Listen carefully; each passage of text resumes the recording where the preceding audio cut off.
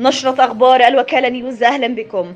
بدأت الفصائل الفلسطينية اليوم الاثنين اجتماعات الحوار الوطني بالقاهرة وذلك بمشاركة 15 فصيل وقوى وطنية وشخصيات مستقلة حيث قدمت جميع الفصائل شكرها للرئيس عبد الفتاح السيسي على دعم ورعاية مصر للقضية الفلسطينية. مثمنين جهود مصر وتضحياتها المستمرة لتحقيق تطلعات وأمل الشعب الفلسطيني مؤكدين حرصهم على تحقيق الوحدة الفلسطينية والشراكة الوطنية. ومن المقرر أن تستمر اجتماعات الفصائل الفلسطينية بمصر حتى يوم غد الثلاثاء والتي تجرى في أجواء إيجابية وعزم وتصميم على الخروج بنتائج تحقيق طموح الشعب الفلسطيني. عقد الدكتور مصطفى مدبولي رئيس مجلس الوزراء اجتماعا لاستعراض السيناريوهات المقترحة لاستكمال العملية التعليمية خلال الترم الثاني للعام الدراسي الحالي. وكذلك الترتيبات اللازمة لعقد الامتحانات الفصل الدراسي الأول وذلك بحضور الدكتور طارق شوقي وزير التربية والتعليم والتعليم الفني والدكتور خالد عبد الغفار وزير التعليم العالي والبحث العلمي. وقال المستشار نادر سعد المتحدث الرسمي باسم رئاسة مجلس الوزراء أن الاجتماع تناول عرض ومناقشة السيناريوهات المقترحة من قبل وزارتي التربية والتعليم والتعليم العالي بشأن استكمال الدراسة خلال النصف الثاني من العام الدراسي الجاري. وفي الوقت نفسه تم استعراض الاستعدادات اللازمة لإجراء امتحانات الفصل الدراسي الأول تمهيدا لعرض ذلك كله على اللجنة العليا لإدارة أزمة فيروس كورونا.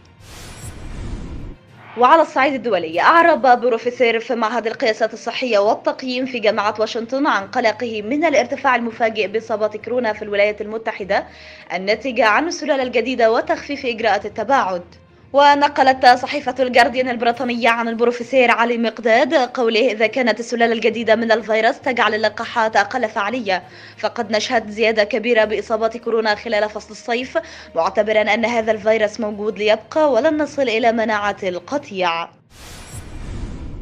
ورياضيا. تتجه الأنظار الليلة لمواجهة نصف نهائي كأس العالم للأندية بكرة القدم عندما يلتقي الأهلي المصري بنظيره بايرن ميونخ الألماني في مباراة صعبة على استاد الريان المونديالي في الدوحة. وتأهل الأهلي بطل إفريقيا لهذا الدور بعد أن أطاح ممثل الكرة القطرية الدحيل ليقطف بذلك بطاقة العبور لمواجهة العملاق الألماني بطل أوروبا في اختبار سيكون في غاية الصعوبة. وسابقا للفريق المصري الذي يشارك في المسابقة للمرة السادسة في تاريخه مواجهة الفريق البافاري من قبل مرتين وديا حيث كانت المواجهة الأولى في ديسمبر لعام 1977 وحسمها الأحمر لصالحه ليتكرر اللقاء في عام 2012 وحسمها بايرن ميونخ لصالحه.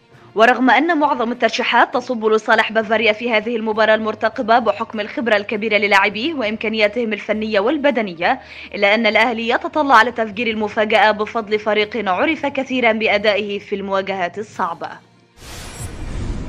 وفنيا كشفت المطربة اللبنانية نوال الزغبي تفاصيل كليب أغنيتها الجديدة وأضافت نوال الزغبي أن الكليب كان مخاطرة في ظل كورونا خاصة أن الفيروس متفشي في بيروت.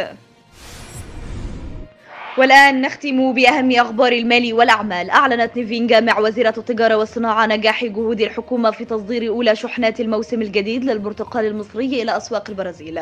وذلك بالتعاون مع السفارة البرازيلية بالقاهرة مؤكدة أهمية هذه الاتفاقية في فتح أسواق جديدة أمام المنتجات المصرية في أسواق دول أمريكا الجنوبية حيث أشادت في هذا الإطار بالتعاون المستمر بين الحكومتين المصرية والبرازيلية لتعزيز العلاقات التجارية والاقتصادية المشتركة. وأضافت وزيرة التجارة في بيان صادر اليوم أن ذلك يأتي في إطار تنفيذ اتفاقية التجارة الحرة الموقعة بين مصر ودول تجمع الميركسور والذي يضم كل من البرازيل والأرجنتين وأوروغواي وباراغواي. إلى هنا وتنتهي نشرتنا الإخبارية. تقبلوا تحياتي. إلى أن نلقاكم في نشرة إخبارية أخرى وللقاء. يمكنكم الاشتراك في القناة وتفعيل زر الجرس ليصلكم كل جديد. طابت أوقاتكم.